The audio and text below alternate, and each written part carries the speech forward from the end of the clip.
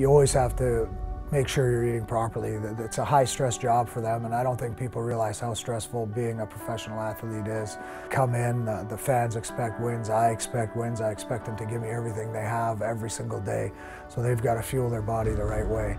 And then they need time to get away from the rink. You know, I've been a, a big believer, and these kids need days off, and they need to just get away and, and decompress and go enjoy something else. Because when you come back here, we expect the most of them. And um, if they do that, we want them to come back. They'll be happier.